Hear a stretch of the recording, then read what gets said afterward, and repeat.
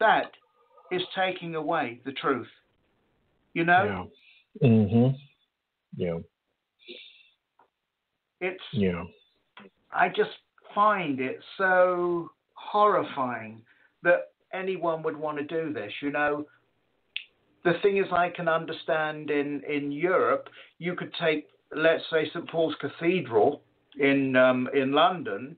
St Paul's Mhm. Cathedral is built on a site which goes back into pagan worship, and this is common within Europe to have churches because when the Christians were having to convert, when the missionaries were over converting pagan people, they integrated the old traditions and the old religions. Yes. So you get Yes. this mix and match. And so they thought, well, why build a church over there when you people are already congregating here? This is a Mhm. respectful thing to do to just build a church or a cathedral in that place. And Yes, you're honoring the land, you're honoring the ancestors, you're honoring the future. You can't go wrong. You know, Right. there is an honor which is going all the way through into the roots and up into, you know, the tree of life Yes. into the roots and up into the branches. And, And we're talking and, and about things yeah. again, aren't we? No, we're off on. I'm sorry. What? I said we're off on one again, going off Oh, on I know. tangents and digressions. But it's so much fun, Terry. I, I, I mean, why stick with the script? What's the point? well, if I was John Lennon, I might like to sing some of my most famous songs. but as You're- I'm you- not John Lennon, I don't need You, to. Terry, you are more than welcome to sing anything you like, and if you sing Patsy Cline, I'll join you. How's that? Absolutely love her. Patsy Oh, Cline, but- what a darling. Oh, phenomenal. I don't phenomenal! want to go. I don't want to break into crazy because I'm enough of that already. Oh, I know, I know. I was, I was the other day. I was um, on the phone with a friend of mine, and we were both in a somewhat flustered mood, and uh, and I some somehow we got on the topic of country music, and I, I'm still not quite certain how it happened because you know when you're chatting with someone and he's having a drink and you're having a, a little cocktail, uh, sometimes things happen without you knowing it, fun. and it was it's all in good fun. And you know, the, the the dangerous thing about Campari is that it's so good for you that um, you know you can't just have one small glass. You have to have two or three or four or seven. So And, uh, I drink love, Campari. but it's I love Oh my Campari. goodness gracious! With lemonade What? or on its own? On well with soda and a squeeze of orange or a squeeze of lime. Or you or do the Campari and soda with little. Yeah, yeah, yeah. Yeah, yeah, yeah. It's delicious. Don't you like it? Um, Do you know? I've not tried Campari since I was a young man. Um, Oh, it's delicious. I used to drink it then, Yeah. but that Well, was and- that and- was just you know uh, I was I was just showing off really back in those Yeah. days. Well. showing off. Nobody else Oh. was drinking it. well, and, and and and here, of course, you know, Terry, we it, it's so hot and so humid. It, it's you you have to drink something cold and refreshing, and I don't want anything too sweet, so I drink Campari, and I mean it's delicious. Now, Actually, it's. Qu- I'm sorry. Hitting on this subject of alcohol, I Yes. can go to a page in the Daily, Daily Telegraph today, which is one of our sort of posh papers. It's what you know. It's not one of the common papers. It's a it's a it's a good paper, but that has a, a good bit of truth in there. And the story in there today is that Jack Daniels, as in Jack Daniels of Tennessee, the um, recipe for that was actually from one of their slaves, a slave that was Oh, known dear. rather than yeah. And then it was from the slave it went to the reverend, and then from the reverend it was then passed on to Mr. Jack Daniel, and um, Ah. they got this mix of sour mash and all the rest of it, put it together, and Jack Daniels was. Um, and now Jack Daniels, the company, have actually admitted this for the first time that the recipe did come from this um, unheralded oh who's um, long since lost in, in history. Oh dear. Oh dear. You know, it's another one of these examples of um, being ripped off because you're not regarded as being equal. Mm-hmm.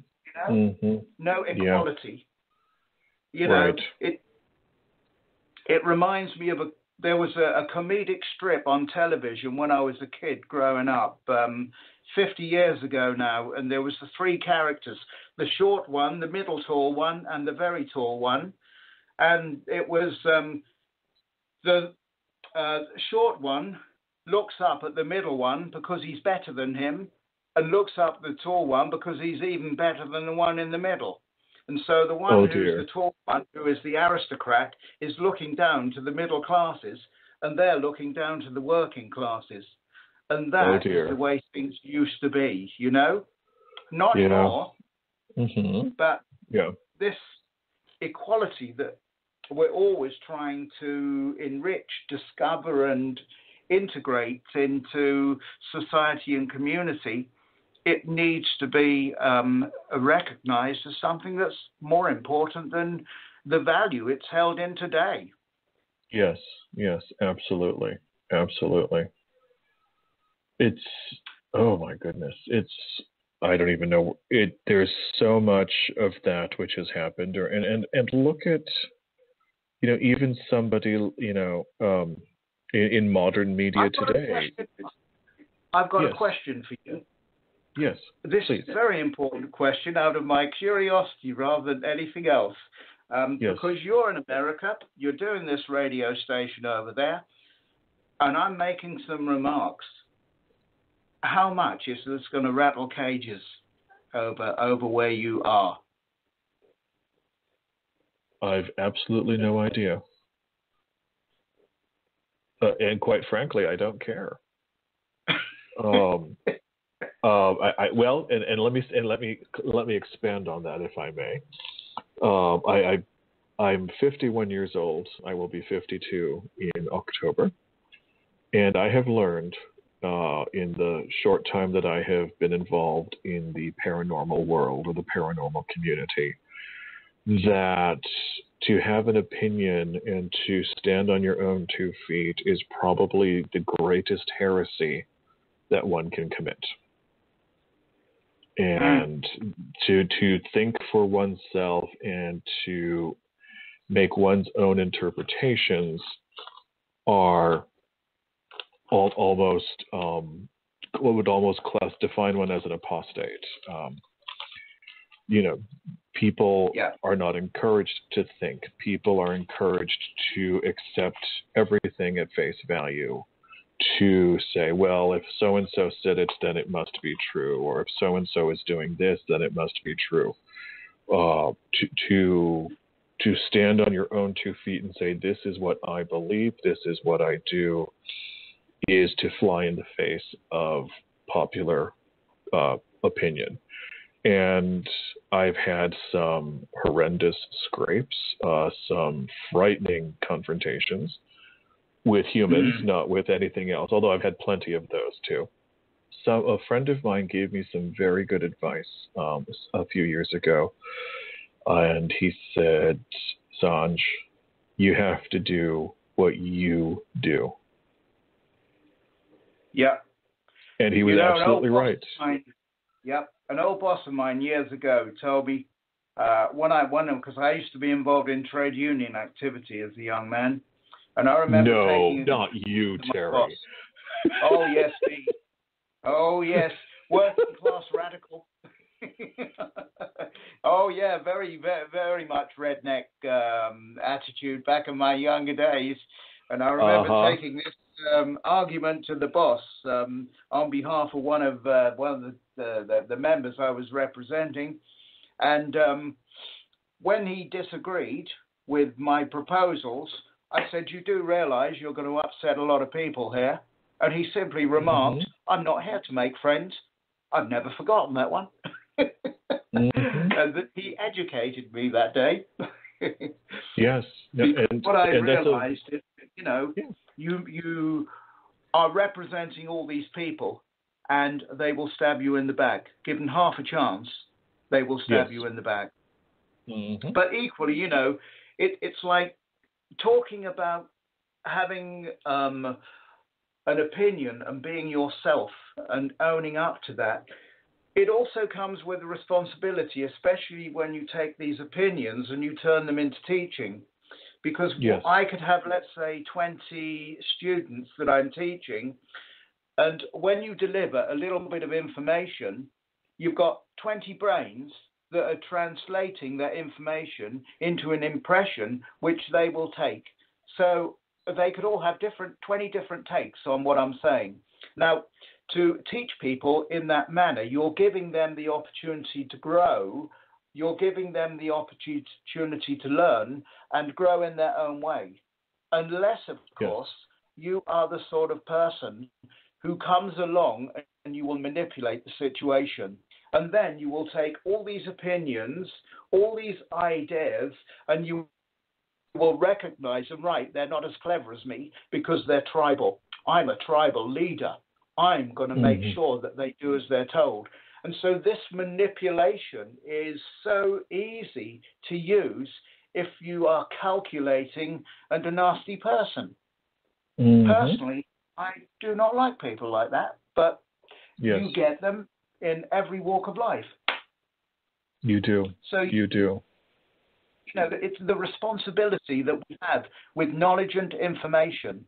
You know, we have to be very, very careful the way we use our knowledge and information and um, make sure that if we do give the information to people and um, they are going to use it, then it has to be explained what the ins and outs and the ups and downs and how you it's like i was saying to begin with um, do not go and investigate paranormal activities especially i mean for instance you've got to laugh at this one of one of one one this lady i know she was doing um, some tv research for um, one of the british channels and she had Mhm. to go to um, huntsville prison in texas Oh dear. which goes back, you know, into the 1800s. It's been Yes. there forever. John Wesley Hardin and people like that were were, were held there, Mhm. and um, they still have the death penalty there. So she went to see somebody being electrocuted in the electric chair, executed in the electric chair. Mhm. And how brave is that? How brave is that? But to feel, you know, that darkness that you get in that sort of place, you are putting yourself into that position. You are very vulnerable because you Mhm. don't know what you're letting yourself in for. I mean, I've, I've got, I know one of my students, she's a psychiatric nurse who works in um, hardcore prisons in Britain. And um, I know how she gets affected because all these people are competitive, they're violent, and they are creating a negative atmosphere. And imagine you've got 150 years, 200 years of negative atmosphere being built up, and suddenly um, that prison is closed down. And if it's Mhm. anything like Britain, you could get a psychiatric unit or a prison. What do they do? They build it into flats. Poor unsuspecting families, they move in there with their two kids. And their two Oh, kids dear. are screaming all night long. I wonder why. Oh you know? boy. Yeah. Yeah. I recently had the opportunity when I was doing um, some clearing in London. The first um, sort of uh, psychiatric unit which was set up for mad people was um, a place called Bedlam. It now exists under a big office block, and I was allowed to go in there.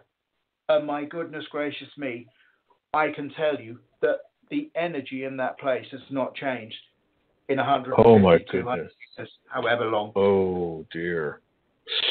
You know, Oh. Oh. isn't it? That- I. It's Oh, horrid. that's that's that's frightening. That's really frightening. It's So, never been you know, cleansed. No, no please, one's all touched your it. listeners, all your listeners, please, if you are vulnerable, do not, do not go to these places which have a psychic energy which is so overpowering. It'll make you feel so uncomfortable. And Yes. when you get nervous in a situation like that, when you lose control, you do not know what you're going to pick up because psychic energy is alive. It's absolutely alive and it is very active. And when you see things like the Amityville Horror, these movies, they are real, believe you me. Oh, w- without real. question, absolutely, And, and dark forces, they are and, and real. very dark. Yes, and, So and not only that. about- Yeah, sorry. Oh no, no, go ahead, please. I, I was just going to say it doesn't matter whether we're dealing with um, devils and demons in Christianity, whether we're dealing with the, with the jinn in um, Islamic traditions, or whether we're dealing with uh, the wrathful deities within Buddhism, or we're dealing with the Kalima in um, in Hinduism. We are Mhm. talking about dealing with an underworld of possibilities, which is scary. And Yes. we don't even have to look into religions. We can go into mythology. We can de- go into Persephone in, in ancient Greece and so on and so forth. Uh, we can go into Loki and Viking, Scandinavian mythology. You can go into these forces of light and dark. They've always been with us and they've always been here to scare us. And stories of the bogeyman Yes, Talking of the boatman, I mentioned earlier about Huntsville Prison and um, the story, the the character who was once there called John Wesley Hardin. He was Mhm. actually referred to as the bogeyman in his day because he was such a notorious killer um, that Oh, the mothers gosh. would warn their children off and say to them, Mhm. um, "If you do bad things, John Wesley Hardin's going to come and get you." Uh-huh. Well, and and you know, and it's and it's funny taking that a step further. And there, I do have another question I want to ask you, uh, Terry. If you, I just need to uh, step away from the microphone for just a moment. If you could just hold on, I'll be right back, please. Just a moment. Indeed. Thank you.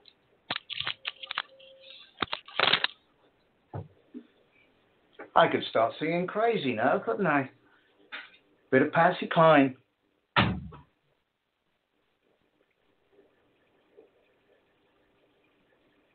Crazy.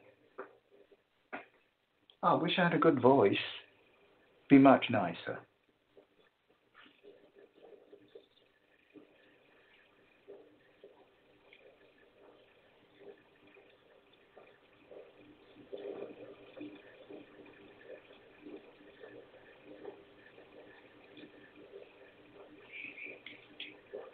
Dee dee dee. Dee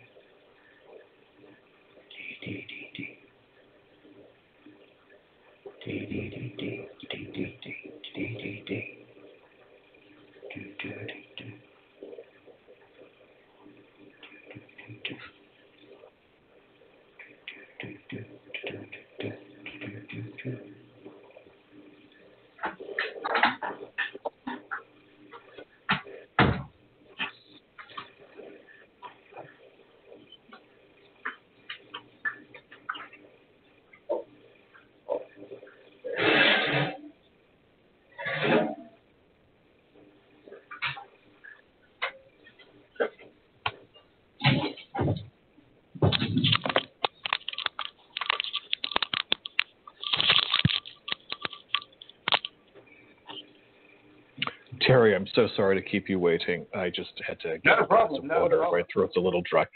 Uh, but what? sing. I'm sorry. What? I wish I had a good singing voice because I could sing crazy or something like that. Well, please go ahead. You're, you're, I, I won't stop sing. you. I promise. I mean, Annie's got a better voice than me. She's the one you ought to get on singing. Oh, now that's a good idea. Anne, please call back and sing with us.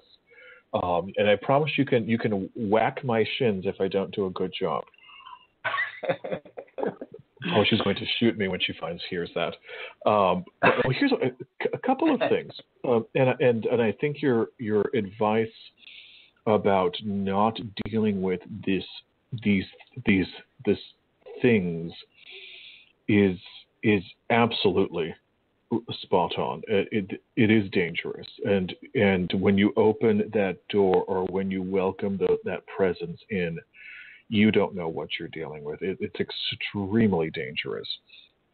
And for someone who's not prepared, it can be quite overwhelming, if not debilitating.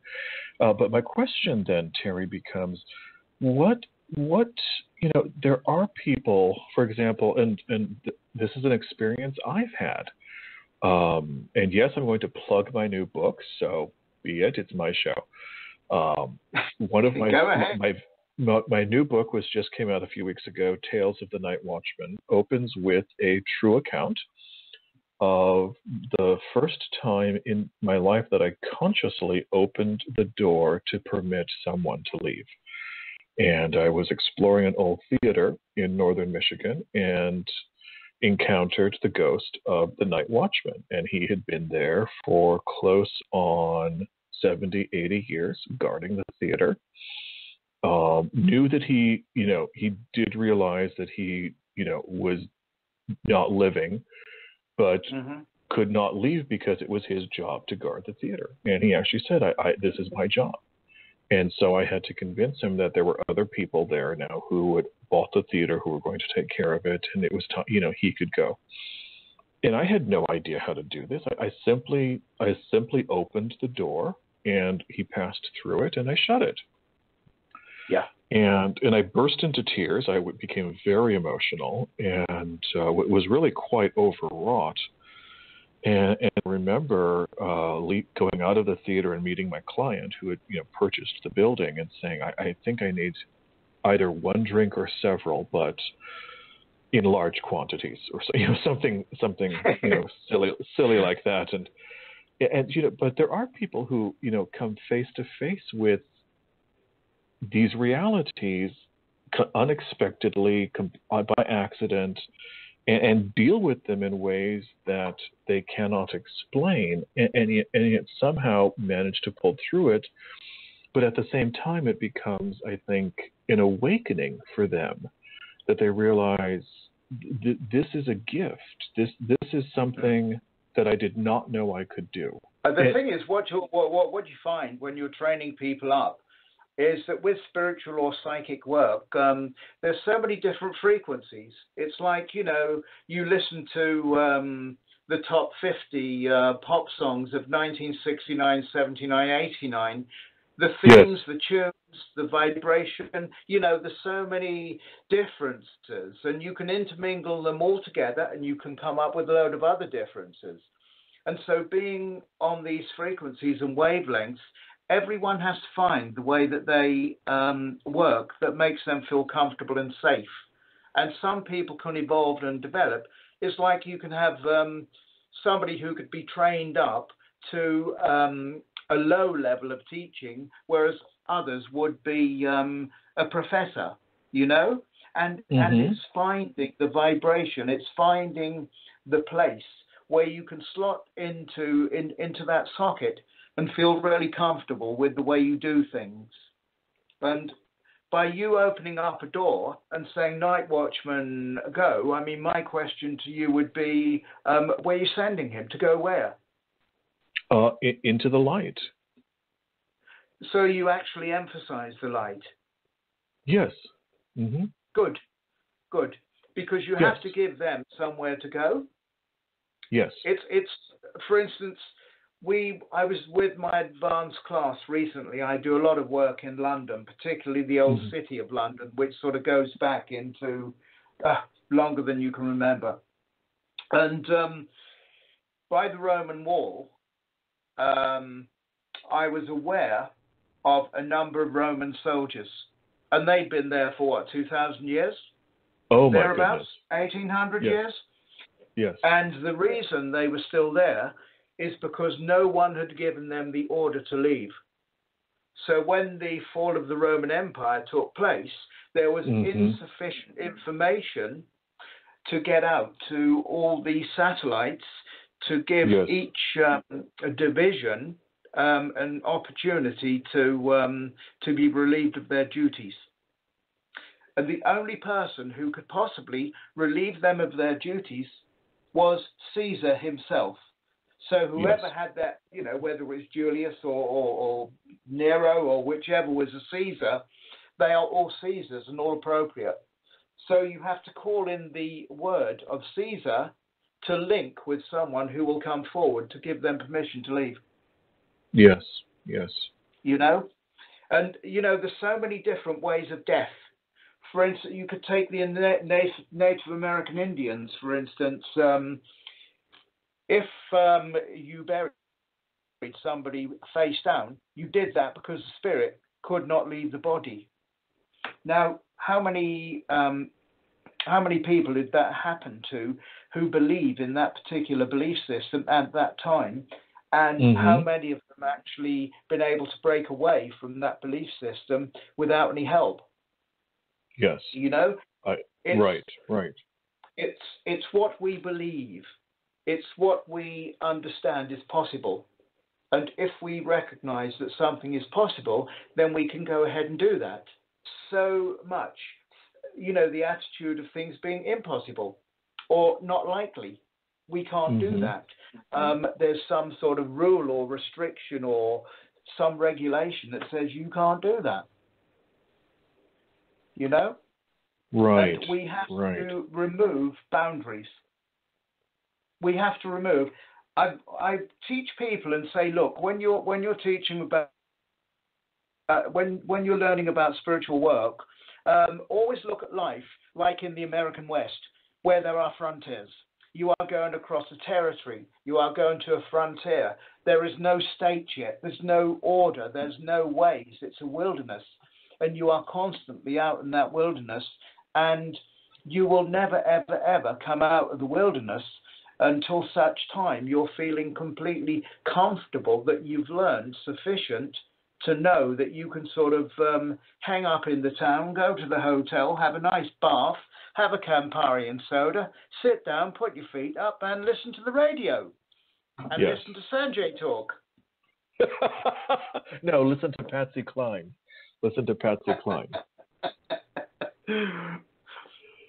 but you know, it's it, it, you know what I'm saying. It's it, it it's um it's life is something that we are learning all the time, and we never ever stop learning. We learn something every day, and people who don't learn, I mean, I see it all the time. You know, you have people come to see you that are coming to saying, "Heal me." Heal you what? Yes. Mm-hmm. What are you holding on to that needs to be healed? You've seen a doctor. You've seen so many different therapists, and you're coming to the next one who can be a miracle worker for you because you don't want to take responsibility. You don't want to change the way you're looking at life. Mm-hmm. You know? Absolutely. It's, this is this yeah. is the one thing I admire about Americans: the way you support one another in success. Where you've got a success amongst you, people are saying, wow, that is really fabulous. That's terrific. Whereas over here, people get jealous. Oh, oh, trust me, Terry. People get jealous here too. Trust me. Well, I'm sure they do in Hollywood. oh no, they they get jealous across the board, across the land. It's it's it's a universal human characteristic. It uh, it, it's not confined but when you have a when you have a true dear friend who is absolutely in support of everything you do, then that friend is going to support all of your achievements. Um, my father, who was an extremely clever and very intelligent man, uh, used to say, "You don't find out who your friends are when things go badly. You find out who your friends are when things go well." And it took me a long time to understand that. And then one day i did and it was a it was quite an awakening uh, to say the least. And uh, you know I, this is amazing to believe terry. We only have uh, less than 30 minutes left. Um, isn't it it's lovely. Uh, you know what i wanted to talk to you about? Because this just fascinates me uh, I, I would love to talk about your work in South Africa and the the name that you were given, Jabula Manzi, the opener of doors. Could you, could you please share something of that with us, please? Well, it's very interesting because you know in in each country you you you have uh, different traditions, and um, the Sangoma tradition is something which was there, which predates Christianity. Um, and the Sangoma tradition goes back into understanding that you are um, a part of the land, that you yes. are a part of everything in the land,